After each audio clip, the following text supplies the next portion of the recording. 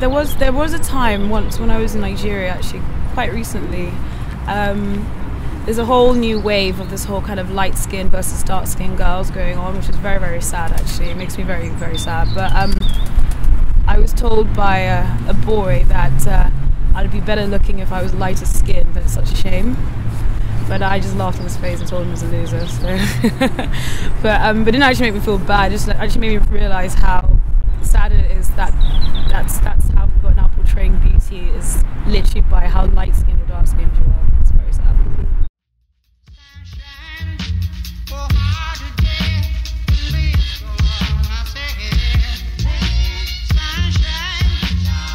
This is Adora, uh, Adora Mba. Um, I was born in London, um, but my father's Nigerian and my mother's from Ghana. I feel that I've lived in many different um, places in the world, like Nigeria, Ghana, uh, New York, Frankfurt, but London's always been home, and I don't know why. I mean, our weather's not the best. It's it's always cold and wet, but um, there's something about London that when you when you live here and you're part of it, it's just it feels right. Especially here at Hyde Park, and even if it's winter or it's sunny, it's just you get lost here. You know, you can forget you're in London, especially when you get deep into the park, and you can be anywhere.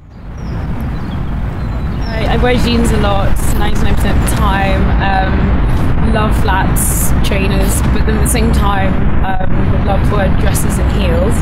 Uh, I wear a lot of black. I don't know why.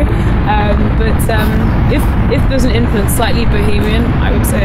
Um, a little bit rocky sometimes, or ripped jeans. I like to think I'm one of the more laid back people that like I don't care, but I I'd be lying. I'm I'm that person that if I have a chip nail in my manicure, I'm really upset. um, so I think um, I think I got that from my mother. Actually, I just um, you know, she always looks so impeccably done. So if my hair's messy or I have a stain or um, I'm not neat, I, I, I feel that you know, I'm not my best. Um, but confidence-wise as well, I think so because when when I my, when my appearance is good and I feel my best, you know, the way I look and the way I dress or whatever, it, it projects in the way I am. I mean, we all have something, I guess. Um, me personally, it's more. Um, in, I would like to be a little bit more toned in my in my body, but that's because I used to be very sporty. So now that it's all soft and gone down south, it's very upsetting. um, I mean, I I used to when I was younger, I didn't like the size of my boobs because they're very big. Um, but as I've grown up, that's become an asset, not not something I want to get rid of. Um, but I mean, I improved my teeth. I had I used to have a gap in my tooth, and so I wore train tracks for like two weeks.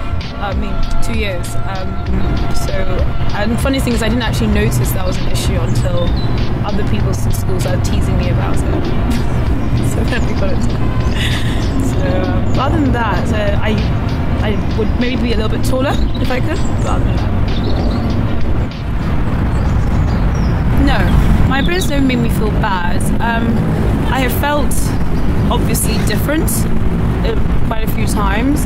Um, you know, being in London, I guess that just goes the territory. Sometimes you are in, places where, especially old English places, where um, you're not really used to seeing um, a black person of colour, one, and also because I speak like this.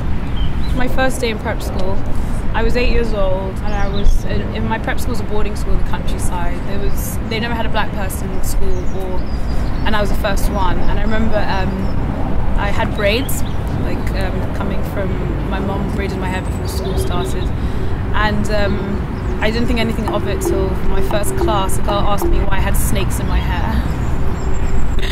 And then I realised, but then the good thing is I didn't take it so badly. I actually more explained that you know this is, you know, I have to braid my hair since my mum does it so that I don't have to look after it all the time. And then they all wanted to have braids, and then all the girls started asking their mums for braids at school. I'm the more curvy of my friends, and there's sometimes, not all the time, but sometimes there's this pressure that, you know, maybe it's better if you were slimmer. Um, that I maybe I put on myself to be very honest. I don't know if it's media, I mean, probably is, but I feel sometimes I'm just like, oh, you know, maybe I should be a little bit skinnier, a little bit slimmer. I need to fit into those size zeros and maybe some of those size two. Um, but um, no, I mean, yeah, I think it's it feels more like maybe it's more like a women pressurizing women rather than external factors. I think women, you know, sometimes can be very competitive with each other. Um, not not in a bad way. I think we appreciate each other's style, appreciate each other's look, but there's sometimes this kind of competition on being. I mean, I, I might have this. I went to an all-girls school, but sometimes there's this competition on being uh, the slimmest, the tallest, the you know that kind of thing. Um, but as I've gotten older, I've, I've cared less and less and less. It's just really funny. The older I get, the more I love that I look different to everyone. So I love that people are surprised when they see me. You, you know, you sound different than people we've met from Africa. You look different, and I'm like, yeah, and I like that. I like feeling unique. I don't want to look like anyone else. Um, I love that there's no one else like me. Um, kind of makes you feel a little bit special, I guess. And I, and who doesn't want to feel special? I think it's one of the things that it's sometimes about talking to myself. Like, um, I, I, think this is when having amazing family and friends and people around you, because you know, if they are always the love they give you, always reminding how much they love you or the way you look, you know, getting compliments. Oh, I love your little boots or whatever. Um, but I think I guess it's an innate thing. If I can tell myself that I'm okay and I like the way I look, and that's what matters really. if I could send a message to them about beauty, I would say let's we shouldn't be so hard on ourselves. You know, we're we're so much prettier than we think we are. And you know, I think you know every morning we should look in the mirror and go, you know what, I'm okay. I'm okay. um, and then just generally love yourself for who you are. Because um, if you don't love yourself, then no one else is going to love you.